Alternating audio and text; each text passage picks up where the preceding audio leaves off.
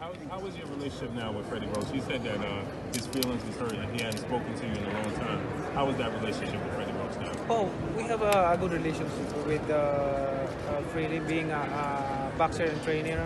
And, and trainer. Um, we've been together since 2001 and in terms of uh, strategy, training, uh, training techniques, uh, style, you can you can rely on Freddie. Manny, ano masabi mo sa trash talk ni, ano, ni Bro, Bro, Broner?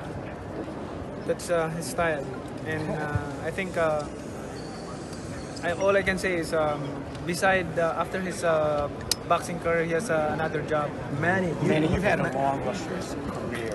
How long can you see yourself fighting? How many more years do you think you have at, at a top level? If you ask me um, about my, my feelings about my body, because of course I will not push I will not push my body um, for uh, to uh, to over.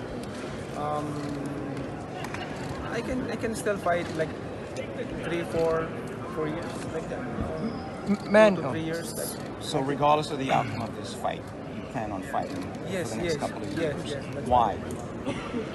Well, that's uh, my. I, still feel good. I have healthy body. Uh, thank God for giving me the strength. And uh, uh, is one of a kind. You know, I can I can uh, thank God for these blessings. Uh, good health, um, strength, um, same. And then uh, change uh, my, my my style, my, my speed still there. So I can still compete with uh, with a young fighter, with a young opponent. As Manny. you get older, do you have to change certain ways that you train leading up to a fight? Oh, that's that's that's uh, a little bit uh, changes uh, changing uh, in the terms of preparation training. It's different when you are young and when you uh, in this age. Uh, the training is different. You have to feel your body.